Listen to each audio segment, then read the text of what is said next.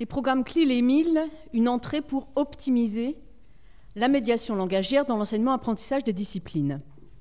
Il y a quelques mois, euh, c'était tout début février, j'étais présente euh, à cette même place et je crois que certains d'entre vous ou certaines d'entre vous étaient également présents, présentes face à moi. Lors de la conférence que, que j'ai donnée au mois de février, j'avais mis l'accent sur le fait que la langue soit à la fois un outil pour la construction des connaissances, mais également susceptible d'être un obstacle. Pour cette conférence du, mois d'octobre, j'ai voulu, euh, voulu, approfondir cette question de langue-outil, langue-obstacle, par l'intermédiaire de la notion de médiation langagière. Donc en fait, cette notion, elle va être présente tout au fil de ma présentation et vous allez voir comment, euh, comment elle va être traitée, c'est-à-dire que euh, je vais montrer au début quel, euh, quel, bénéfice elle apporte et en quoi elle est absolument indispensable, quelle que soit la langue d'enseignement utilisée, et puis je montrerai comment ça peut se réaliser, comment le, cas particulier de l'utilisation d'une langue seconde dans les contextes CLIL et MIL peut avoir un impact, peut constituer une entrée pour une optimisation de la médiation langagière. Il y aura donc deux parties dans cette présentation. Premièrement, la médiation langagière dans l'enseignement-apprentissage des disciplines. Et deuxièmement, quelle médiation langagière dans les programmes clés les 1000.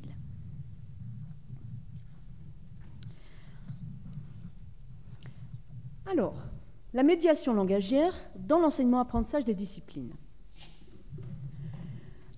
La médiation langagière, c'est une notion euh, euh, qui, a été déjà pas mal traitée en, sciences du langage, pas spécialement en didactique, mais en sciences du langage. il y a notamment Broncard euh, qui, met en avant le fait qu'il y ait des transactions sociales au niveau des individus avec des processus de négociation permanente entre les représentations individuelles des individus et les représentations collectives.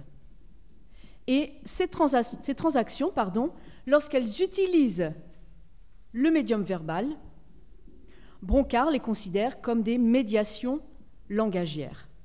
Médiation, bien sûr, ça veut dire intermédiaire, ça veut dire que quelque chose va venir se placer, s'intercaler entre un objet et un autre, va en modifier la relation. Donc voilà, la médiation par le biais du langage dans toute situation, quelle qu'elle soit. Mais maintenant, qu'en est-il au niveau du rôle de la médiation langagière dans les situations d'enseignement-apprentissage? La médiation langagière est revêtue de plusieurs enjeux en situation d'enseignement-apprentissage. Et là, déjà, n'est pas pour rien que je l'ai mis en premier, des enjeux individuels, et notamment la participation des acteurs de la classe en tant qu'individus, avec leur représentation, leur ressenti. Les individus qu'on a dans une classe, moi j'aime bien penser qu'avant d'être des enseignants et des élèves, ce sont des individus, avec une vie globale, une identité avec de nombreuses facettes. Les enjeux sont également sociaux, bien sûr avec le positionnement de chacun au sein de la communauté de la classe. Et puis, puisqu'on est dans la classe, la médiation langagière va asseoir aussi des enjeux cognitifs, en permettant aux élèves de développer des savoirs grâce à des opérations de conceptualisation.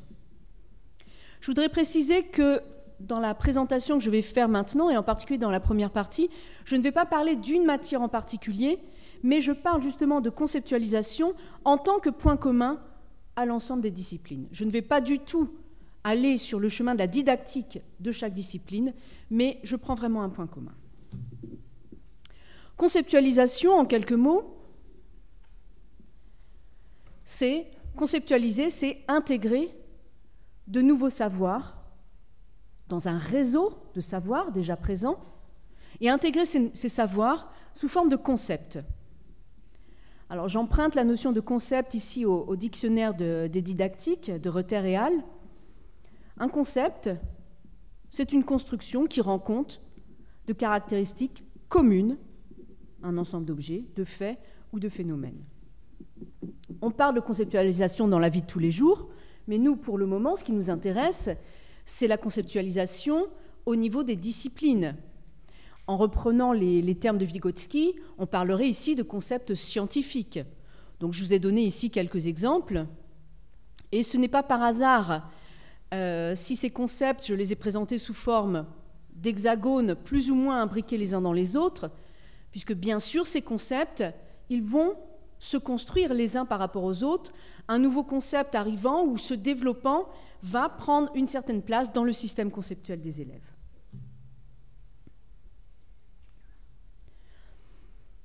Les discours vont jouer une fonction médiatrice cruciale au niveau des opérations de conceptualisation. Vous voyez à droite de l'écran ce fameux triangle qu'on connaît tous très bien et qui met en regard les enseignants, les étudiants et le savoir. Les discours vont intervenir sur chacun des trois côtés de ce triangle. Ils vont s'intercaler d'un point de vue discursif entre les enseignants et les étudiants, les enseignants et le savoir, et les étudiants et le savoir, ou inversement bien sûr, le savoir et les étudiants. C'est-à-dire qu'il va contribuer à modeler les relations entre ces trois termes du triangle et à modeler, puisque c'est ce qui nous intéresse en particulier aujourd'hui, à modeler la façon dont les élèves vont pouvoir intégrer du savoir. Alors je voulais préciser que quand je parle de conceptualisation, en fait je m'appuie sur une dialectique, c'est-à-dire une relation de continuité et de rupture entre l'état du savoir disponible à un moment donné de l'histoire scientifique et l'état du savoir construit par les élèves. C'est-à-dire que quand je parle du savoir disponible à un moment donné de l'histoire, je fais référence, entre autres, à ce qu'on pourrait appeler du savoir transmis. Lorsque je parle de l'état du savoir qui est construit par les élèves, là, je vais parler d'un savoir co-construit. Et j'envisage les deux. Quand on parle d'enseignement-apprentissage, on va parler à la fois d'un savoir transmis, puisqu'il y a des moments où il y a des transmissions de savoir, et à d'autres moments de la co-construction de savoir, avec imbrication entre les deux. Je voudrais préciser aussi qu'il n'y a pas que le langage qui joue en tant que médiateur dans les situations d'enseignement-apprentissage. Simultanément, il y a d'autres formes de médiation qui interviennent. Médiation par les, les représentations déjà existantes, chez les élèves, chez les enseignants aussi d'ailleurs. Médiation de l'expérience concrète des élèves. Médiation par des supports non verbaux, etc., etc. Multiples médiations au sein de laquelle le langage va jouer un rôle fondamental. Rôle fondamental illustré par une diapo bien remplie. Alors, Qu'est-ce qu'on nous dit au niveau de la recherche sur la médiation langagière dans la construction conceptuelle par les élèves? Tout ce qu'on en dit contribue déjà à montrer que c'est une dynamique complexe. Et je vais en présenter quelques caractéristiques. Première caractéristique, vous avez vu tout à l'heure quand je vous ai parlé des enjeux de la médiation, je vous ai dit la médiation, l'un des enjeux, c'est un enjeu individuel au niveau du positionnement de chaque euh, locuteur en tant que sujet dans la classe. Première caractéristique ici, la médiation langagière se forme au sein d'une communauté discursive qui est elle-même constituée d'individualité. Il va donc falloir, quand on veut caractériser la médiatisation, la médiation, pardon, prendre en compte la subjectivité et le caractère multiforme de la médiation. Autre caractéristique importante, la communication dans la salle de classe a une dimension asymétrique. Parce que les différents participants à la communication ne vont pas avoir le même statut. Il y en a un ou une qui en général a le rôle d'expert, qui enfin qui va avoir des droits différents des droits que les autres participants vont avoir dans la salle de classe. L'enseignant expert va jouer aussi un rôle d'étayage. Tout ça, ça entre, ça contribue à former une communication asymétrique pour reprendre bien sûr euh, les termes proposés par euh, Frédéric François dans son ouvrage, dans l'ouvrage qui a été dirigé en 90. Il y a une dimension asymétrique, mais il y a également, de manière très forte, la présence d'un principe dialogique. Et là, je reprends les termes de Bakhtin. C'est-à-dire que même dans l'énonciation de l'enseignant, les élèves vont être présents. Quand l'enseignant parle, il parle en tenant compte des personnes qu'il va avoir en face. Et vous savez, parfois, en tant qu'enseignant, on fait un jeu de questions-réponses. Et parfois, on répond nous-mêmes. Tout ça, ça montre la présence des élèves en face. Donc, principe dialogique. Autre point, le rôle structurant du discours au niveau individuel, au niveau collectif, notamment lorsque sont mises en place des pratiques langagières réflexives. Et ça, je vous en montrerai des exemples tout à l'heure. Soupler, par exemple, à chercher, à chercher à mettre en, évidence pardon, dans, dans des interactions de classe des indicateurs du rapport entre langage et cognition, c'est-à-dire des indicateurs qui montrent que lorsqu'on regarde une transcription d'échange de classe, on voit qu'il s'est passé quelque chose au niveau cognitif pour les élèves. Alors vous allez me dire, ce n'est pas évident à voir ça, parce qu'on ne sait pas toujours ce qui se passe au plan cognitif. Mais lorsqu'on voit qu'il y a des reformulations, des répétitions, des modalisations, des reprises de mots d'autrui, de la stabilisation d'énoncés, on voit qu'il y a eu une évolution au niveau cognitif. Et puis, dernière caractéristique que j'emprunte à Laurent Gaillot, c'est la fonction de médiation et de remédiation du discours dans la construction des savoirs. Alors, médiation des discours, si je, reprends les mots de Laurent Gaillot, euh, il met en avant le fait que le discours va toujours porter sur des objets qui va rendre disponibles et négociables. Et en même temps, ce discours, comme je l'ai dit tout à l'heure avec les questions de reformulation, répétition, etc., ce discours va porter les traces de sa propre élaboration. Il va devenir lui-même objet de discours, objet d'une deuxième médiation, qui va entraîner des ajustements, des.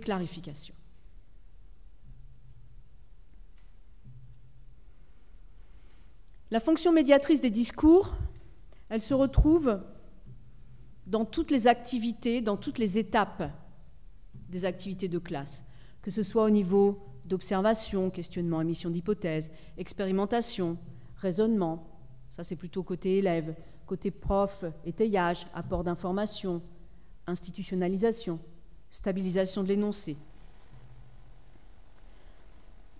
Je n'ai pas le temps aujourd'hui de, de prendre une à une ces différentes étapes, mais on va prendre un exemple de, ces deux étapes-là, ou de ces deux démarches-là, au niveau du raisonnement et au niveau de l'étayage. Voilà un extrait de. Je vais vous montrer un extrait d'une vidéo euh, que j'ai euh, emprunté à la banque, de séquences didactiques euh, de Canopée. Il s'agit d'un cours de SVT en classe de 5e et on va voir comment la médiation langagière va être un support pour le raisonnement et pour l'étayage. Donc en fait ici, euh, l'enseignant va demander aux élèves de faire des hypothèses. Donc ici on parle du cœur, de faire une hypothèse sur l'endroit où pourrait se trouver le cœur dans, le circuit humain. Et puis on va voir que par les interactions, les, élèves arrivent eux-mêmes à modifier leur représentation. Ah, je retourne en arrière. Alors on y va. C'est maintenant la dernière étape. Comment on va pouvoir mettre le cœur dans notre schéma. Alors tout ce que l'on vient de faire, c'est maintenant euh, correct. On veut maintenant placer forcément le cœur. On a placé tous les vaisseaux sanguins, on a relié les vaisseaux sanguins entre eux. Il faut réussir à placer le cœur.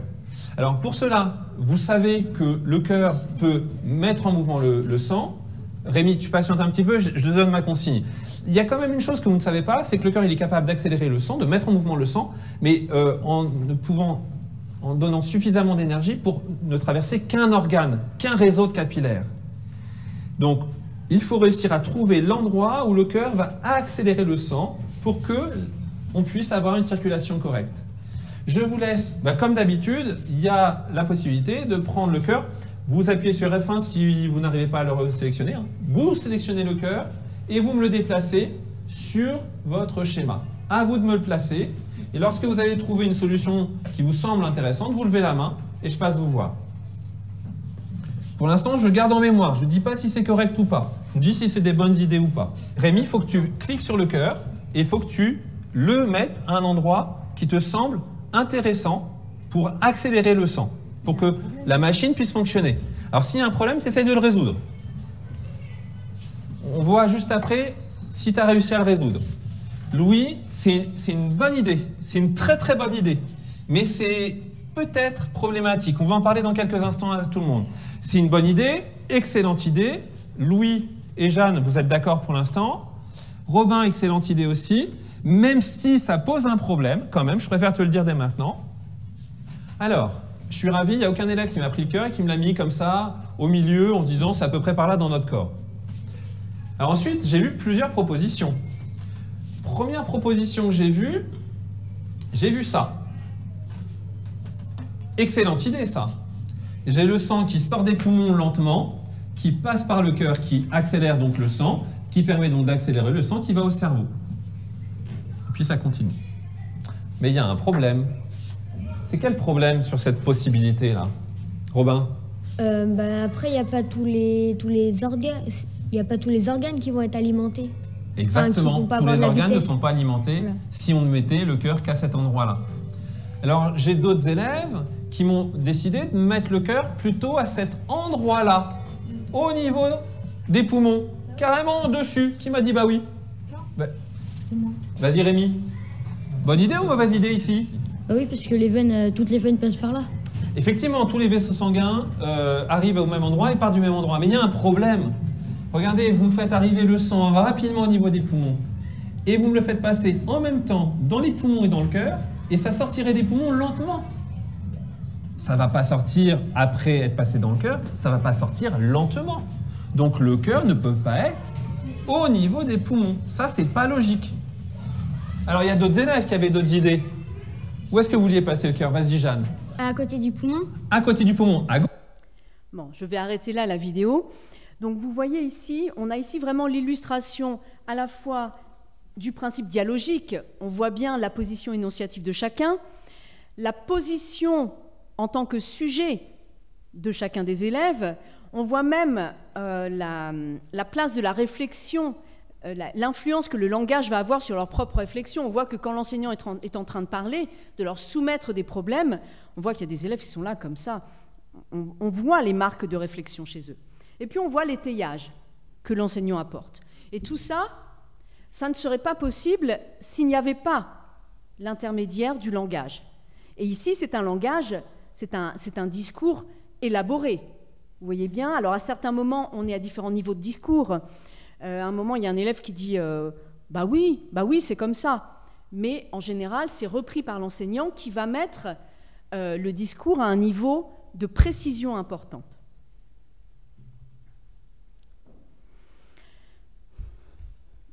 Alors, évidemment, je, l'avais dit lors de ma dernière conférence, la langue, outil ou obstacle, je ne peux pas aujourd'hui venir en disant la, la médiation langagière, c'est parfait, tout va bien. Non. La médiation langagière est un outil. Simplement, son mode d'emploi est un peu flou. Ou disons qu'on n'a pas tous le même mode d'emploi. Les caractéristiques que je vais présenter maintenant, qui sont sur cette diapo, je les, appuie sur des situations d'enseignement monolingue dans la L1 de la majorité des élèves. Puisque bien sûr, il ne s'agit pas de penser que, euh, tout va bien en L1 ou que rien ne va en L2, ou qu'au contraire, rien ne va en L1, tout va bien en L2. Non. Simplement, je prends, on va dire, le cas entre guillemets classique. Pourquoi est-ce que ce mode d'emploi est flou? Bah, Déjà parce qu'il repose sur de l'implicite. On parle du métier d'élève, bien sûr, c'est une expression bien connue, mais à aucun moment, dans la scolarité des élèves, on ne dit euh, bon, eh bien, écoutez, voilà, maintenant on commence cette nouvelle année. Euh, maintenant, la, discussion, la communication entre nous, ça va se passer comme ça. Euh, si je, donc l'enseignant ne va pas dire euh, moi je parle et puis c'est moi qui donne la parole et puis c'est moi qui décide si c'est important ou pas, etc. Il ne va pas dire ça. Ça repose sur de l'implicite. Et au bout de quelques mois de scolarisation ou quelques années, les élèves savent que globalement c'est quand même l'enseignant qui détient la parole. C'est lui qui sait, enfin non, c'est même pas lui qui sait, c'est lui qui décide s'il va expliciter telle ou telle chose, en fonction de ce qu'il pense être important. Et les élèves, d'une certaine façon, ils suivent. Bien sûr, ils ont droit à la parole, mais ils sont quand même plus ou moins locuteurs secondaires, si on veut. La détention de la parole, elle est quand même beaucoup au niveau de l'enseignant. Mais ça, on ne le leur dit pas aux élèves. Ça se fait comme ça.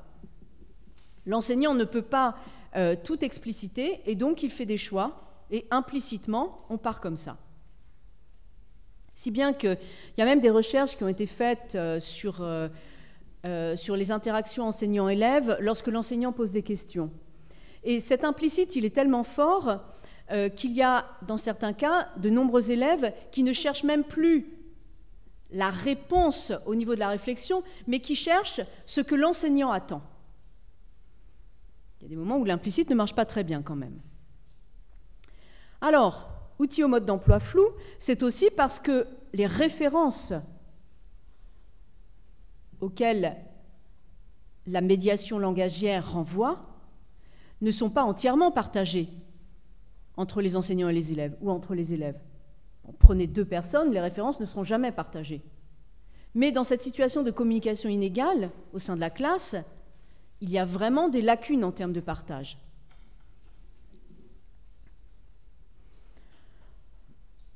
Vous avez également des décalages entre l'émission la réception des messages, avec des malentendus qui peuvent survenir. Alors un malentendu, euh, Langumier le décrit comme une illusion de compréhension de la part des deux interlocuteurs. C'est-à-dire que la médiation verbale ou l'interaction reste fluide. L'enseignant pose des questions, les élèves répondent, ou l'enseignant parle, c'est fluide. On a l'impression de se comprendre. Simplement, on se rend compte un peu plus tard que finalement, on ne s'est pas compris.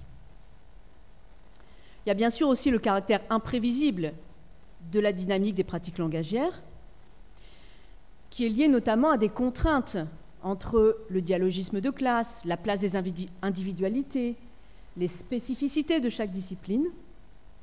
Et enfin, dernier point qui contribue à, mettre du flou sur la médiation langagière, c'est l'appui implicite par l'enseignant sur des concepts supposés déjà connus.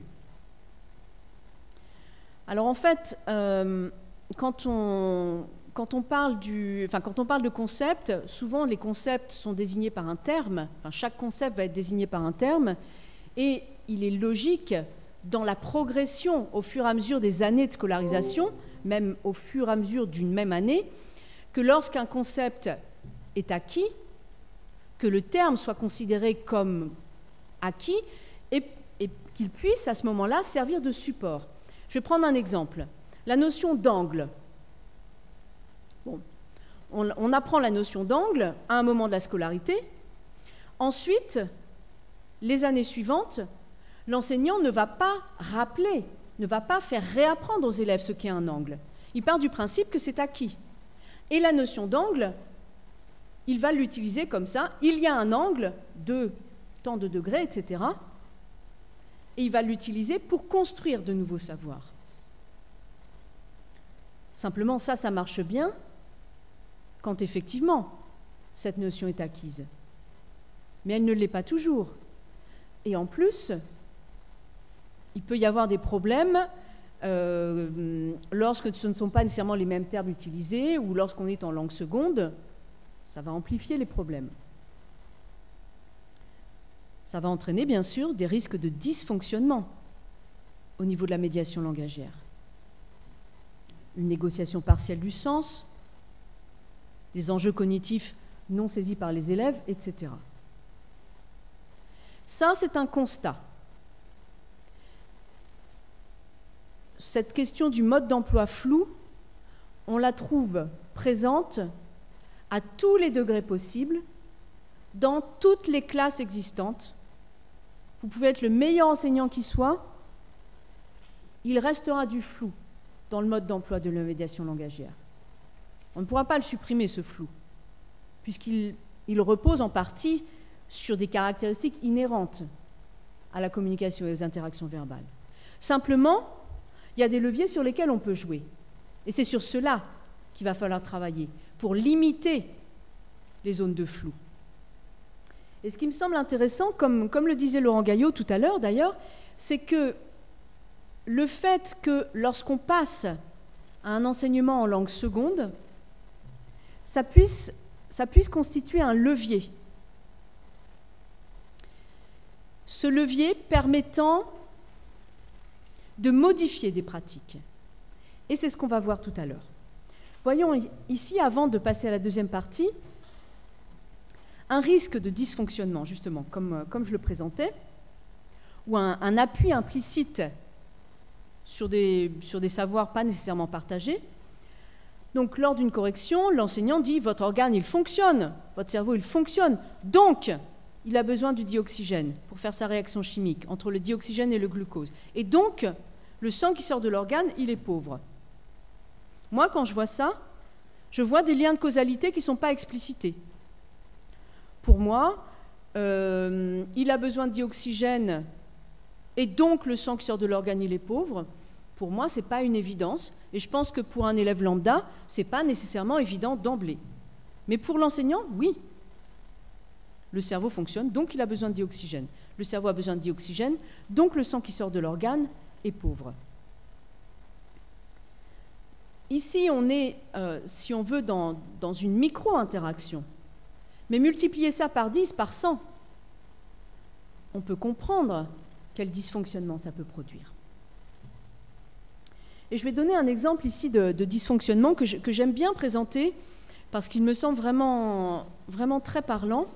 J'avais fait une recherche avec Michael Marquet il y a quelques années, euh, où on essayait de voir, après un cours donné en L2, si les concepts, euh, de quelle façon les concepts avaient été intégrés par les élèves après une séquence de sciences. L'exemple sur lequel on travaillait, c'était celui de la compressibilité de l'air. Alors, vous avez, s'il y a des, professeurs des écoles ici, peut-être que vous l'avez déjà fait avec vos élèves. Vous prenez une seringue, vous la remplissez d'eau, vous bouchez le bout, et puis vous essayez d'appuyer sur le piston qu'est-ce qui se passe? Il ne se passe pas grand-chose parce que la seringue est remplie d'eau. Vous videz l'eau, vous prenez la seringue, vous mettez le doigt au bout, vous poussez le piston, qu'est-ce qui se passe? Alors, voilà, le piston avance un peu jusqu'à un certain moment. Ça, c'est lié au fait que l'air soit compressible. Lorsqu'il y a des dysfonctionnements il y a tout ce que je viens de présenter tout à l'heure, ça peut donner ce résultat-là. Donc ce sont des élèves qu'on a interrogés juste après le cours. Nous, on voulait savoir, on voulait non seulement qu'ils nous expliquent les expériences, mais surtout qu'ils nous expliquent pourquoi le phénomène fonctionnait de telle ou telle façon. Et là, donc un élève nous dit, on a vu que si on met de l'air dans une seringue, on peut appuyer, mais si on met de l'eau, on ne peut pas changer. Pourquoi? Euh, Bon, parce que l'eau n'a pas assez d'air, bon, c'est pas très très clair. Alors que l'air, et là on me dit, l'air est tellement fin qu'il peut passer par des millimètres. Donc, l'élève interprète, essaie de faire des liens avec ses réseaux de savoir, et voilà, l'air c'est fin. donc il passe par des millimètres. L'air peut passer par des millimètres, il peut aussi passer par les espaces, par le relief, qui est au niveau des empreintes digitales, comme c'est donné dans l'exemple 2. Puis tout simplement, c'est une construction, le fait de penser qu'il y a de l'air dans la seringue. Il y a un élève qui me dit, bah, dans le tube, il n'y avait plus rien. Donc on a pu appuyer sur le piston. Tout ça, c'est très logique. Et c'est très bien que les élèves aient interprété comme ça. Simplement, l'objectif du cours n'est pas tout à fait atteint. Et c'est contre ce genre de choses qu'il faut essayer de, de mieux modeler les, médiations langagières. On va voir ça maintenant. Donc jusqu'à présent, j'ai parlé de l'enseignement en général en donnant des exemples sur l'enseignement en langue 1 ou, assimilé à la langue 1 des élèves. Maintenant, on va vraiment se tourner vers les programmes CLIL la médiation langagière dans les programmes CLIL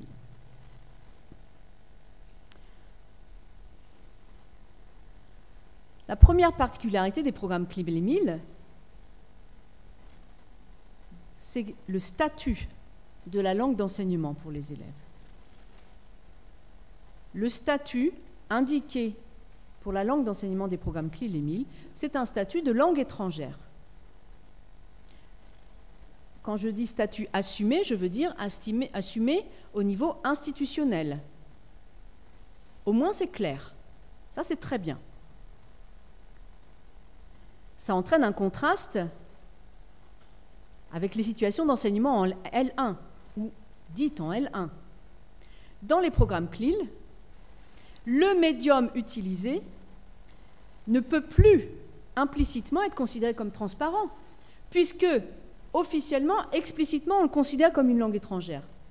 Une langue étrangère, par essence, ça ne va pas être spécialement transparent. Et donc, ce qui me semble très intéressant, pour reprendre le titre du livre de Frédéric François, La communication inégale, moi je considère que dans des situations de programme CLIL-EMIL, on est dans une communication délibérément inégale. Disons que ça, c'est le CDI des langues et des disciplines. Et ça, c'est intéressant parce que ça va ouvrir des portes pour revoir le mode d'emploi. Si la communication est délibérément inégale, ça change la donne. Et c'est ce qu'on va voir maintenant.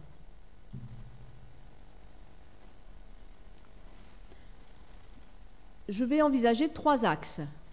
Premièrement, celui de la médiation de la parole de l'enseignant. Deuxièmement, celui de la médiation par les interactions. Et puis troisièmement, celui des, outils, si on veut aider les élèves à être capables d'utiliser la médiation du discours en L2.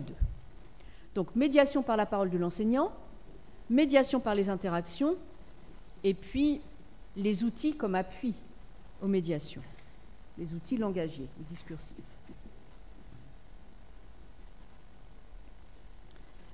Je vois que vous êtes en train de prendre des notes, donc je laisse encore la diapo pendant quelques instants.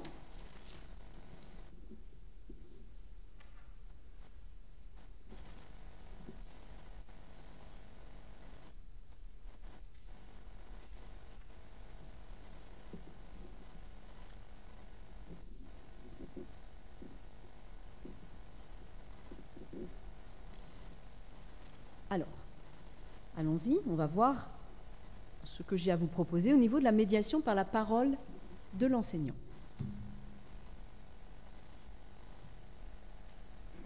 au niveau de la médiation par la parole de l'enseignant, il semble évident qu'il faut soigner la mise en discours de la langue. Le terme soigner n'est peut-être pas le mieux choisi, mais on va dire particulièrement soigner. Premièrement, en se questionnant à propos des implicites. Des implicites, on en fait tous. Tous, on s'appuie sur des implicites. Tous, en situation d'enseignement, on s'appuie sur des implicites. Ça, vous le prenez comme une donnée. Et donc maintenant, à partir de ça, il faut questionner vos implicites. Où est-ce qu'il peut y en avoir? Et une fois que vous les avez mis en évidence, demandez-vous comment faire. Deuxième élément, user et abuser des reformulations, explicitations, réitérations. Dans l'enseignement, il est indispensable qu'il y ait des redondances dans les discours. Dans un enseignement en langue seconde, c'est encore plus indispensable. Si en L1, vous n'êtes pas sûr de partager les mêmes outils linguistiques avec euh, vos élèves, en L2, c'est sûr qu'il va y avoir un décalage. Donc c'est bien, si on veut, d'avoir des certitudes comme ça. Ça permet de se positionner.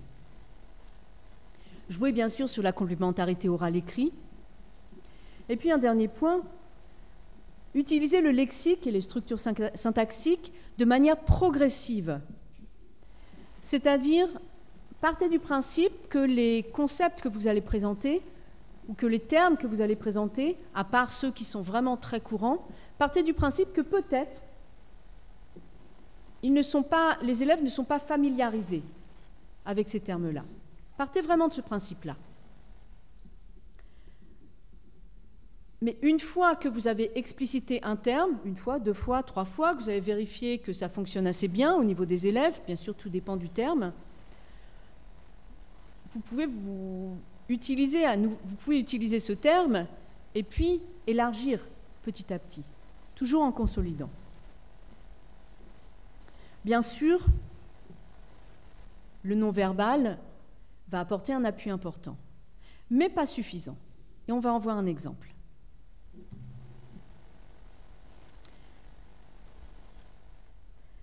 Alors, je vais vous présenter euh, des extraits de, de vidéos d'un cours de sciences donné en allemand au cycle 3. C'est une vidéo qui à nouveau est tirée de la banque de séquences didactiques, Canopée. Je pars du principe que peu d'entre vous connaissent l'allemand. Qui connaît l'allemand? Alors, attendez, je vois pas bien, je confonds les mains avec les masques, c'est un peu gênant. 1, 2, 3, 4, 5, 6, 7, un bon tiers un très bon tiers. Excusez-moi, je n'avais pas regardé jusqu'au bout. Bon, c'est très bien de connaître l'allemand.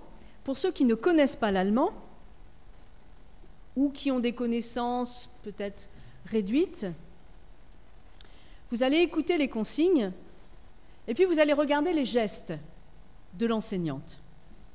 Alors elle fait comme, euh, comme nous faisons tous, elle accompagne ses paroles de gestes pour aider les apprenants. Ça aide probablement. Mais on va voir que les, gestes qu'elle fait ne sont pas nécessairement porteurs de sens, en tout cas pas nécessairement porteurs du même sens que ce qu'elle dit. Mais l'un dans l'autre, ça marche. Alors on y va, et puis essayez de, retenir les gestes qu'elle fait et de voir, de voir ce que vous en pensez. Vous voyez, c'est assez court, hein, ça fait moins d'une minute. On y va. Also, heute machen wir weiter. Wir arbeiten wieder einmal in Gruppen, ja, pro Tisch heute. Non, non je m'arrête là. Alors, les personnes qui ne comprennent pas l'allemand ont compris. Wir arbeiten heute in Gruppen. C'est clair, hein il y a des groupes. En plus, euh, proximité entre le terme allemand et le terme français. Erste Etappe. Ihr schneidet die sechs Bilder aus. Alors, les personnes qui ne parlent pas allemand, qu'est-ce qu'on fait? Euh, J'entends pas bien? Ça peut être choisir, travailler, analyser, mettre dans l'ordre. Voilà, il y a plusieurs possibilités, mais en tout cas, on voit qu'on a quelque chose à faire avec les six dessins. On va voir comment ça se précise. Etappe, ausschneiden. voilà, et puis là, elle résume. Erste Etappe, ausschneiden. Dann ihr ordnet sie. Alors, ensuite, elle dit, dann ihr ordnet sie. Alors, les personnes qui ne parlent pas allemand. Ordonner, mettre dans l'ordre. Vous voyez le geste? On voit une histoire de suite. On voit qu'on doit faire quelque chose. Disons que ça permet, je pense qu'ici, ça n'aide pas nécessairement à la compréhension. Peut-être ordre, ordnen. Mais en tout cas, ça fixe l'attention des élèves. Vous savez, du style, regardez mon doigt. C'est la même chose. Ça fonctionne comme ça. Et ça aide à la compréhension. Et bien, on est reparti au début, comme ça, ça va vous permettre de mieux comprendre. Also, heute machen wir weiter. Wir arbeiten wieder einmal in Gruppen, ja, pro Tisch heute. Erste Etappe. Ihr schneidet die sechs Bilder aus. Erste Etappe, ausschneiden. Dann ihr ordnet sie in die richtige Reihenfolge von einer Versteinerung. Und die dritte Etappe, ihr, ihr, schreibt, ihr schreibt ein paar Sätze, eine Legende für jedes Alors, désolé, bon, je ne vais pas le remettre après. Après, on a, on a un nouveau geste qui n'est pas très très clair à nouveau. Je pense que les personnes qui ne parlent pas allemand n'ont pas compris ce qu'on demande de faire aux élèves à ce moment-là. Non. Voilà, legende, donc on peut comprendre par le sens, c'est ce qu'on va voir avec la, diapo d'après. Euh, en fait, elle leur, elle leur demande d'écrire quelque chose. Donc peut-être si elle avait voulu, euh, comment dire, vraiment appuyer les mots par le geste, elle aurait pu montrer en dessous de chaque dessin. Mais en tout cas, euh, elle réussit au moins à fixer l'attention. Et puis il y a l'appui sur le langage avec les reformulations, et on va voir ça maintenant. Alors, au moment où j'ai malencontreusement euh, appuyé sur, euh, sur la souris pour passer à la diapo suivante, on entendait l'enseignante dire Er schreibt ein paar Sätze, eine Legende. Donc, vous écrivez quelques phrases. Ça, c'est pas évident. Peut-être que les élèves comprennent schreiben, mais ein paar Sätze, c'est pas sûr. Immédiatement après, elle reformule eine Legende. Ensuite, Ihr dürft das Wörterbuch benutzen. Alors, peut-être que les élèves comprennent Wörterbuch, qui veut dire dictionnaire, donc vous avez le droit d'utiliser le dictionnaire, aber nicht das blaue Heft heute. Alors, alors donc vous avez le droit d'utiliser dictionnaire, mais pas le cahier bleu. Je pense que les élèves comprennent sans problème blaue Heft, parce que très certainement, quand ils font les cours de sciences, c'est avec le cahier bleu, donc ça c'est certain qu'ils le comprennent. Mais pour être sûr, elle répète. Et elle répète plusieurs fois. Et elle a raison. Ohne Hilfe. Sans aide. Ihr macht das ganz, ganz allein. Donc vous faites ça complètement, complètement tout seul. Et elle répète encore une fois, ohne Material. En faisant ça, je pense qu'elle a de grandes chances que les élèves aient compris ce qu'elle veut dire. Et là, on n'est plus, plus, dans la consigne normale, vous allez couper, etc. Mais là, euh, on est dans la, dans la méthodologie. C'est-à-dire, je veux que vous fassiez ça tout seul, pour une certaine raison. C'est particulièrement important pour elle. Elle voit que si les élèves ne savent pas qu'ils vont découper, ils regardent sur les voisins, ils vont le faire, etc. Mais ça, pour elle, c'est important. Et donc, euh, donc, vous pouvez utiliser le dictionnaire sans aide, tout seul, sans matériel quatre fois, elle le redit quatre fois, avec la répétition de la préposition sans, etc., avec align, que les élèves certainement comprennent. Là, on est en cycle 3. J'ai pris des exemples empruntés à d'autres corpus. Cours de sciences en classe de seconde sur les, sur les, cadres, de, les cadres de référence. Vous savez, le fait que quand, quand quelque chose bouge, ça bouge toujours par rapport à quelque chose. Et là, l'enseignant dit The car is stationary. It is not moving. Ça correspond exactement à ce que je vous disais tout à l'heure. Quand vous présentez un terme pour la première fois, stationary, bah, même en français, en classe de seconde, vous dites aux élèves euh, la voiture elle est stationnaire, pas sûr que tout le monde va vous comprendre. En revanche, si vous complétez par elle ne bouge pas, là il y a un implicite. L'implicite c'est que je dis un adjectif et juste après je donne une phrase qui va être une sorte d'explication, de, définition de ce terme. Et cet implicite-là, les élèves souvent le comprennent, mais pas nécessairement d'ailleurs. Ça peut nécessiter d'être euh, présenté aussi au début. Cours Cours de maths en lycée. Alors, euh, l'enseignante travaille sur des formes géométriques et elle dit According to you, how is the inside structure? Et puis, immédiatement, elle se rend compte que inside structure, peut-être ça ne va pas être compris par tout le monde. Immédiatement, elle reformule The interior structure. Donc, vraiment user, abuser des reformulations. Ne pas avoir peur d'être redondant. On ne l'est jamais trop. Deuxième axe sur lequel je voulais travailler, celui de la médiation par les interactions. Il est absolument crucial que les élèves puissent prendre la parole de manière autonome, c'est-à-dire sans reproduire à l'identique le discours de l'enseignant. Ça va les aider dans leur démarche cognitive, ça va leur permettre également, et ça c'est quelque chose auquel je tiens beaucoup, de questionner les relations qu'ils ont établies entre les termes et les contenus conceptuels. Vous savez bien qu'un concept, ça se construit petit à petit.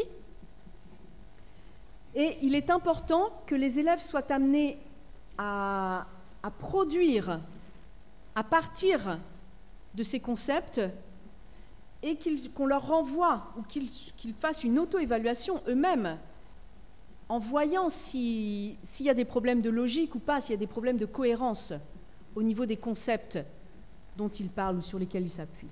Et puis à nouveau, la complémentarité écrit-orale.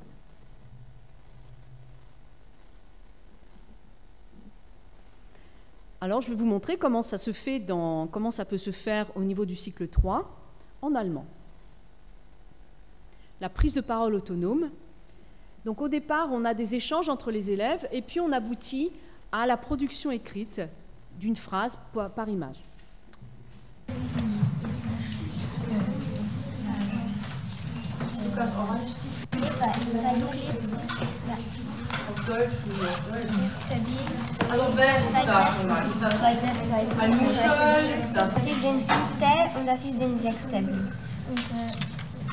Pour ceux qui comprennent l'allemand, vous vous rendez compte au passage euh, que les élèves n'ont pas de euh, n'ont pas d'insécurité par rapport à la langue. Euh, les déclinaisons, les, les articles, L'important est vraiment ici l'aspect communicatif. C'est vraiment très bien.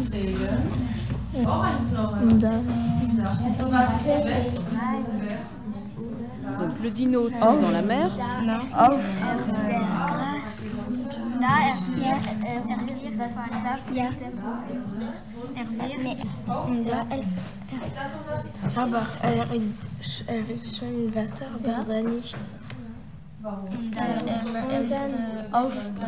Donc là, en fait, ils échangent. La, la, petite figurine dit il est déjà dans l'eau, mais là, non. Alors là, elle cherche trébucher dans le dictionnaire.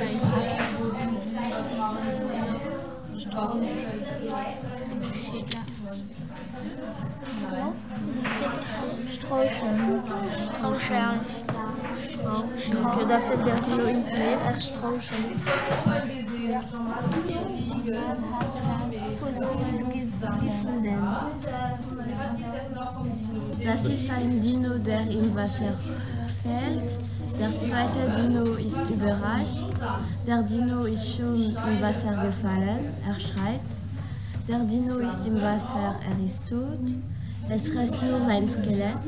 Es gibt kein Wasser mehr. Die Knochen sind noch oben gegangen. Der Skelett ist ein Fossil geworden. Ein Mann, ein Mann hat das Fossil gefunden. Bon, pour ceux qui ne comprennent pas l'allemand, vous avez quand même compris le rythme. On a une phrase par image avec le dinosaure tombe dans l'eau, euh, je ne sais plus trop d'ailleurs, euh, il meurt. Euh, alors à un moment, il elle dit il ne reste plus que, et puis elle dit es reste nur. on, a, de l'alternance de langue, enfin on a un, emprunt en français, ça ne pose pas de problème. L'important est vraiment d'avoir des phrases qui vont appuyer la conceptualisation.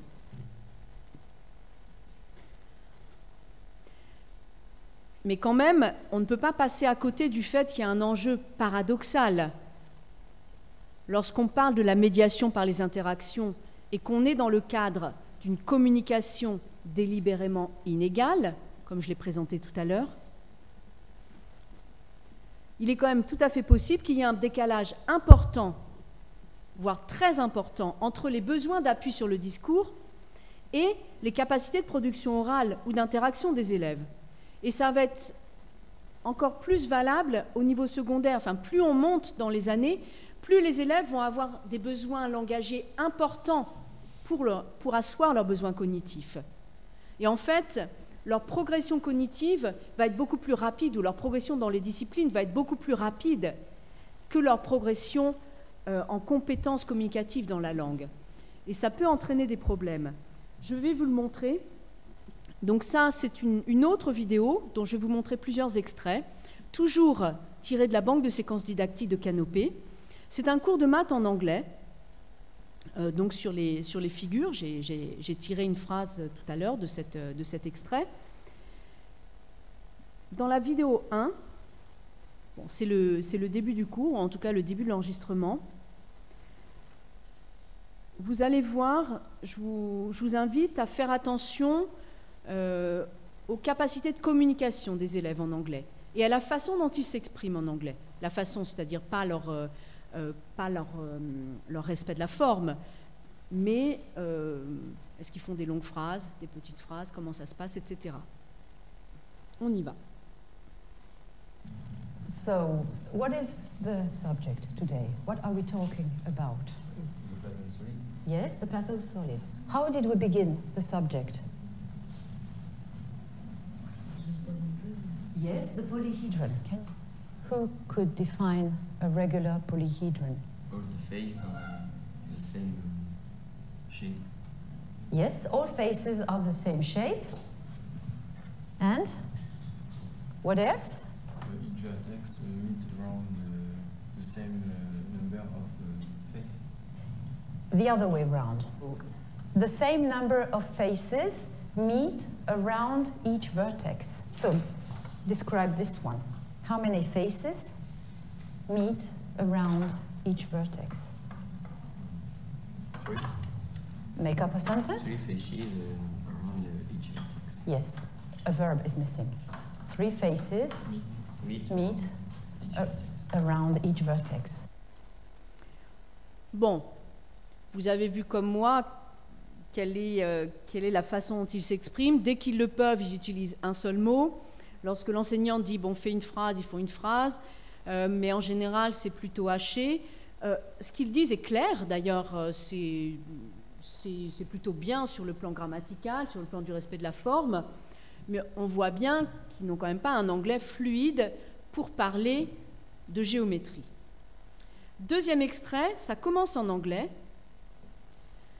Et puis à un moment, l'enseignante pose une question, il y a un élève qui dit Je sais le dire en français. Et là, elle lui dit Vas-y, dis-le en français. Vous allez voir le contraste. Oui, mais c'est important de s'en rendre compte, justement. On l'oublie parfois. The other way around. Take the center point of each face in the cube. Okay, can you make up a sentence then? Uh, if you take a center point of the cube, you obtain octahedron. Okay. So what do you think? What can you say about these two solids? I, I know in French, but I, uh, Okay, say it in French then. nous avons chaque fois euh, une pièce dans l'autre pièce, et à chaque fois dans cette pièce, nous avons une autre pièce. Dans... Okay, so everybody understood that? Bon, je pense qu'il faudrait vous le repasser pour que vous puissiez même comprendre ce que dit l'élève. En fait, il a très bien compris. Alors c'est ça qui est intéressant. Il a très bien compris ce que dit l'enseignante. Il a très bien compris le, le- le raisonnement. Euh, donc en fait, ce qu'il veut montrer, c'est qu'il y a une, sorte de réciprocité en fait. L'une des formes peut contenir l'autre, et puis l'autre peut contenir. euh, Mais il a très bien compris. Mais il n'est pas capable de le, de le dire en anglais. Et il arrive un moment où l'anglais, dans ce cas particulier, bien sûr, hein, je ne généralise pas, va être insuffisant. Ses compétences en anglais sont insuffisantes pour soutenir sa démarche réflexive. Même si, euh, comme, euh, comme je le montre dans cette courte vidéo, euh, les élèves comprennent bien. Il n'y a pas de problème de compréhension manifestement dans cette classe. Look at an octahedron. You consider the center points of each face.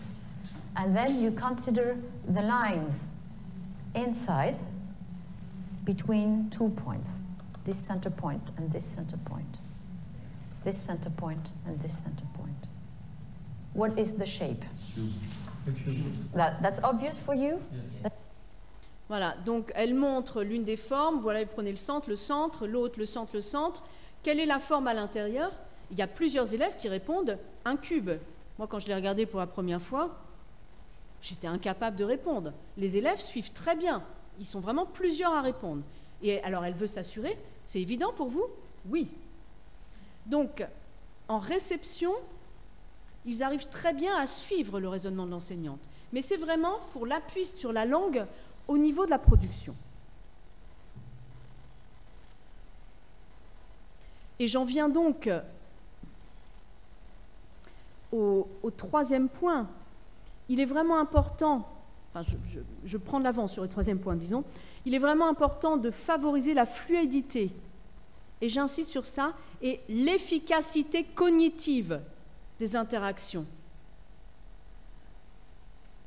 Dans les programmes CLIL, on n'est pas juste à utiliser la langue pour, euh, pour, avoir une exposition plus importante à la langue, mais comme Laurent Gaillot l'a répété tout à l'heure, il est clair que dans les programmes CLIL, on est là aussi pour développer des savoirs approfondis dans certaines disciplines. Et donc, les interactions, comme dans n'importe quelle classe, doivent avoir une efficacité cognitive. Pour favoriser cette efficacité cognitive, il y a différentes pistes. Il y a la piste de l'étayage, sur laquelle je vais, présenter une vidéo tout à l'heure. Et puis il y a la piste des pratiques translangagières, que ce soit au niveau des élèves ou de l'enseignant. Alors, les pratiques translangagières, je mets ici la, la, définition qui a été donnée par Garcia. En fait, des pratiques translangagières, c'est très simple. C'est des pratiques qui vont intégrer toutes, enfin en tout cas qui sont susceptibles d'intégrer toutes les ressources langagières de tous les élèves de la classe. Comme Laurent le disait tout à l'heure, ça ne veut pas dire uniquement traduire, ça va largement au-delà de ça. Ça peut être faire référence à telle langue. Est-ce que vous savez comment on dit telle chose dans telle langue? Est-ce que vous savez telle ou telle chose? Ou ça peut être permettre aux élèves de réfléchir en petits groupes dans une L1, etc. Une L1 qui seront peut-être d'ailleurs euh, les seuls à connaître, peu importe. Mais réfléchir à la façon dont on peut optimiser, c'était le titre de, cette, de cette intervention, optimiser la médiation langagière par le biais des pratiques translangagières. Dans les, dans les vidéos que j'ai ici, je n'ai pas beaucoup d'exemples euh, de pratiques translangagières très variées. En fait, il faudrait faire une, une, une conférence entière sur, euh, sur ce thème-là. Mais je vous laisse regarder euh, comment, comment ça se passe à ce niveau-là. Donc il y a l'appui sur le français, et puis il y a l'étayage qui est apporté ensuite par l'enseignant. une pièce dans l'autre pièce, et à chaque fois dans cette pièce, nous avons Okay, so everybody understood that? So now let's make it in English. This center point of one piece can be considered as a vertex as the other piece. So the cube is said the dual polyhedron of the octahedron. The dual polyhedron of a cube is an octahedron. How many vertices for a dodecahedron? Count them. A dodecahedron has 20 vertices. And? The icosahedron has 20 faces. Yes. And? One last sentence is missing? The center of, the, of each face of the icosahedron is uh, the, uh, each vertices of the dodecahedron. Uh, once again, I did not understand. Each, vert, uh, each uh, center of face on uh, icosahedron is uh, the vertices of the dodecahedron. Yes. You mean one face for the icosahedron corresponds to one vertex of the dodecahedron. Donc en fait, il faudrait le voir plusieurs fois pour bien percevoir euh, ce qui se passe exactement. L'élève a, fait son observation en français. L'enseignante reprend une phrase sur le mode du constat, puis elle stabilise l'énoncé et elle l'écrit ensuite au tableau. C'est un énoncé général. Ensuite, elle prend un exemple avec une autre figure qui a 20, 20 côtés, 20 enfin deux autres figures, 20 côtés, 20 sommets. Elle amène les élèves à produire eux-mêmes la phrase qui va permettre de décrire cette situation. Donc vous voyez, c'est un peu compliqué à exprimer. Puis ensuite, elle étaye cette phrase. Donc là, on a à la fois, dans, cette vidéo, on a vraiment euh, une des modalités d'appui sur une langue une avec des fonctions d'étayage à plusieurs étapes. Alors, troisième axe maintenant, comment faire, quelle piste? Pour rendre les élèves capables d'utiliser la médiation du discours. Il semble indispensable d'utiliser des aides ou de, développer des aides linguistiques en amont. Alors, je m'appuie sur un article euh, récent de Gabriela Steffen euh, qui met en avant le fait que certains outils discursifs ne sont pas encore assez développés, tels que, dans, les cas qu'elle décrit, formuler une explication, une justification, une restriction. On pourrait, on pourrait trouver beaucoup d'autres actes euh, euh, de communication. Euh, elle montre dans son article que dans le, dans le groupe qu'elle observe, au moment où les élèves auraient besoin de s'appuyer sur, sur ce type de médiation discursive, ils n'en sont pas capables, ou en tout cas pas capables de manière suffisamment fluide pour pouvoir réellement s'appuyer dessus. Il ne s'agit pas de faire semblant. Il s'agit vraiment d'utiliser la langue avec, comme je l'ai dit tout à l'heure, une efficacité cognitive.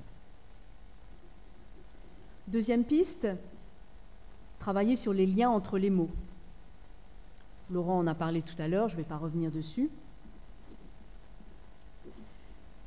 Et puis la troisième piste, le développement de stratégies de communication.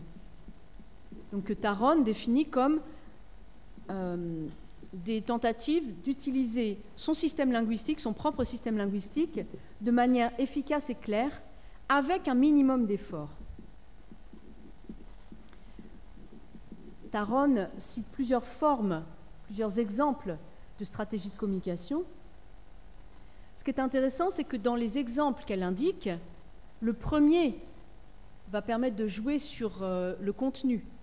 C'est-à-dire que dans l'évitement, elle envisage le fait que, euh, que la personne, elle ne parle pas nécessairement de, de situation scolaire, elle envisage le fait que la personne évite un sujet, ou en tout cas évite un thème particulier, parce que ça va être trop compliqué d'en parler. En revanche, les autres stratégies qui sont présentées, ce sont des stratégies d'ajustement des ressources. Et là, ça devient intéressant. Paraphrase, approximation, création lexicale, traduction, alternance, mime. Bon, puis elle termine par appel à l'aide, mais c'est une stratégie, bien sûr, également.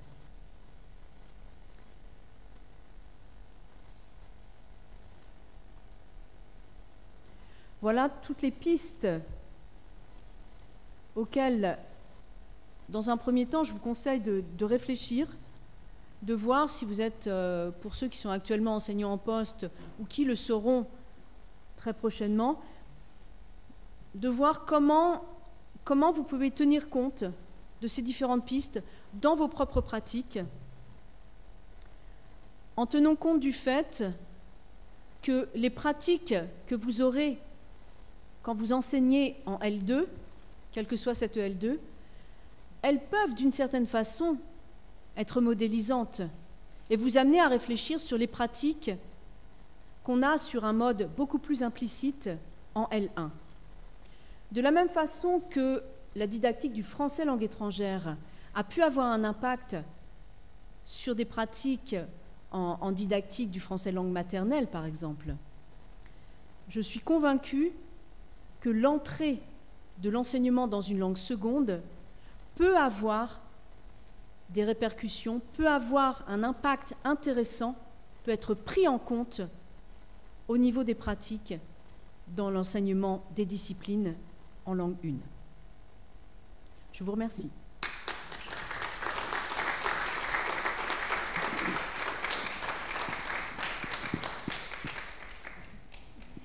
Merci beaucoup pour cette euh, présentation à la fois euh, convergente et complémentaire avec celle de, de Laurent Gaillot. Donc je pense que voilà, ça vous a ouvert d'autres pistes. Et de plus, pour les personnes ici qui sont en train d'élaborer leur, euh, leur mémoire de recherche, euh, je pense que voilà, ça dit au- aussi un peu vous ouvrir des, des horizons et peut-être concrétiser un peu ce que peut être une, une démarche de recherche. Voilà. Euh, je, on peut prendre quelques instants sûr. pour quelques questions. si le- Oui. Bonjour. Bonjour. Euh, je voulais rebondir un petit peu sur ce que vous aviez dit, mais également sur ce qu'avait dit Monsieur Gaillot euh, à la conférence euh, juste avant. On a bien compris, d'après vos propos, l'importance pour les enseignants de se saisir non seulement des contenus de leur discipline, mais aussi et surtout de tous les éléments de langage. Et donc, euh, alors en français, on sait faire en tant que- en tant qu'enseignant français. Mais bon, si je relève tous les mots, ça va être de la reformulation, de la paraphrase, ça va être aussi euh, se saisir vraiment du sens. Monsieur Gaillot parlait même euh, de, problématiser, d'engager la langue. Donc je pense qu'on est tous convaincus, de par notre présence, des bien fondés du CLIL, de. Euh, cependant, ça pose quand même la problématique de la connaissance de la L2 par euh, les enseignants, à savoir en France en tout cas, euh, nous sommes enseignants disciplinaires et on se forme en langue pour enseigner en langue 2. Euh, Est-ce que toutes ces, alors c'est pas des contraintes, mais en tout cas toutes ces nécessités que vous explicitez très bien et qu'on comprend bien, est-ce que vous pensez qu'elles sont vraiment appréhendables par un enseignant dont l'anglais ou l'allemand, en tout cas dont cette langue n'est pas sa langue native? Est-ce qu'on peut vraiment aborder toutes ces questions linguistiques quand on n'est pas soi-même locuteur natif Est-ce qu'on peut y arriver de façon très efficace? Je suis convaincue qu'on peut y arriver et qu'on doit y arriver. Euh, il ne s'agit pas de faire euh, des analyses linguistiques poussées euh, du contenu ou de la, de la forme de vos cours, ça n'est pas ça du tout, mais il s'agit d'avoir une sensibilité à ça, en fait. Ce que vous dites pour les enseignants qui enseignent une discipline en langue seconde, c'est tout autant valable pour les enseignants qui enseignent la même discipline en L1, bien sûr. Euh, dans, les, dans, dans les formations de- des enseignants de, de- de toutes les disciplines, il y a très peu d'aspects linguistiques. Et donc, je pense qu'il faut vraiment faire la part des choses. Il ne s'agit pas de... Il ne s'agit pas non plus de transformer votre cours de maths ou votre cours de sciences en cours euh, métalinguistique, pas du tout. Mais c'est vraiment cette idée de sensibilité, parce que de toute façon, elle est indispensable. Vous voyez, si vous, si vous passez à côté de ça, vous allez avoir des situations comme l'exemple que j'ai montré tout à l'heure, où finalement, vous aurez fait un beau cours, c'était un beau cours avec des expériences, etc., etc. L'enjeu, c'est pas que les élèves savent qu'ils ont fait une expérience avec une seringue. L'enjeu, c'est bien sûr qu'ils comprennent ce qui se passe, ce qu'on veut leur faire comprendre. Et là, l'enjeu, il, n'avait pas abouti. Donc c'est vraiment une nécessité, et je pense qu'il faut, il faut prendre les choses de cette façon-là. Il faut se dire, bon, d'accord, je suis convaincu euh, qu'il va y avoir des aspects linguistiques dont je dois tenir compte, sur lesquels je dois m'appuyer, en fait. Hein. Ce n'est pas juste voir les obstacles, mais voir comment je peux m'appuyer sur les éléments linguistiques pour optimiser le cours. Ça, c'est la, la première donnée. Ensuite, comment est-ce que je peux faire avec les moyens qui sont les, miens? Je ne suis pas locuteur natif, mes élèves non plus, ça tombe bien. J'ai des compétences qui sont ce qu'elles sont dans la langue seconde. Simplement, j'ai l'habitude des situations de classe, je connais un peu mes élèves, je vais peut-être être particulièrement attentif à telle et telle chose. Quand je regarde ma préparation de cours, je me dis, tiens, là, il y aura peut-être quelque chose. Vous voyez Et ça, ça ne demande pas des connaissances spécifiques. Ça demande vraiment, comme je l'ai dit tout à l'heure, une sensibilité. Il faut aller dans ce sens-là. Je vous remercie. Je vous en prie.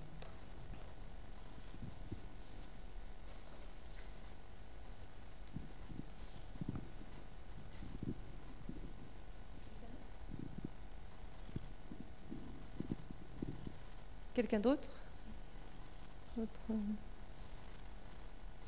Non, vous, allez réfléchir, je pense que les questions viendront après. Euh, c'est souvent, le cas, surtout quand l'apport est, est, riche. Euh, moi, il y a une mini question que j'aurais souhaité poser, mais je ne sais pas, j'aurais aimé peut-être aussi l'a posé tout à l'heure à Laurent Gaillot, un peu pour les mettre en parallèle.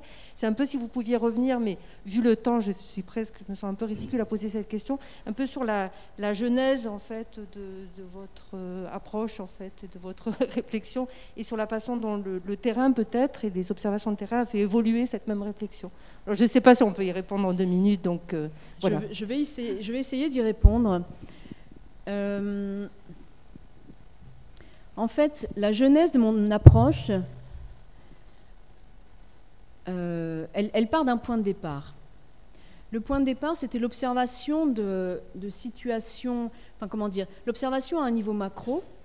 Je me disais, euh, tiens, euh, c'est vrai que c'est vrai que les, programmes CLI et 1000 sont des programmes qui, qui sont bien appréciés, qui, qui semblent avoir des retours intéressants, etc. etc.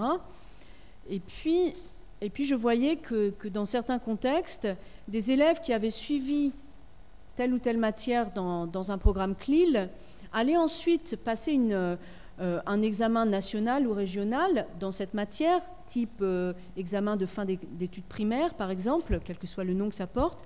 Et cet examen-là allait être non pas dans la langue du programme CLIL, mais dans la L1 de l'élève. Et je me suis dit, là, on fait quand même un très gros raccourci au niveau institutionnel. J'ai quand même une petite sensibilité sur les langues. Ça m'étonnerait que ça aille de soi que le fait d'avoir eu des heures de cours de sciences, par exemple, dans une langue, ne va pas nécessairement me rendre capable de répondre à des, consignes scolaires dans une autre langue. Donc ça, c'était mon point de départ. Et donc j'ai essayé de, j'ai commencé à explorer à ce niveau-là. Qu'est-ce qui se passe quand on a des cours dans une L2 et qu'on doit ensuite utiliser euh, les connaissances qu'on a développées au niveau de la L1 Quel bilinguisme en fait? Quelle forme de bilinguisme? Et puis petit à petit, en fait, j'ai avancé. Et euh, il, y a, huit mois, quand je faisais la conférence ici, je parlais de la langue outil ou obstacle. Donc c'est à chaque fois la même chose. Je vois une situation, et c'est d'ailleurs la démarche de recherche. Vous voyez une situation, vous dites tiens, ça, ça semble bien lisse tout ça. Où est-ce qu'il pourrait y avoir des aspérités? Enfin, vous en voyez une ici, vous en voyez une là. Vous dites tiens, je vais m'intéresser à cette aspérité-là. Vous grattez un petit peu et vous essayez de voir si c'est aussi lisse que c'est dit dans le discours officiel. Et en général, bien sûr, ça n'est jamais aussi lisse. Et puis, ensuite, le fait d'explorer ça vous amène à voir d'autres aspérités, si bien que ça ne s'arrête jamais.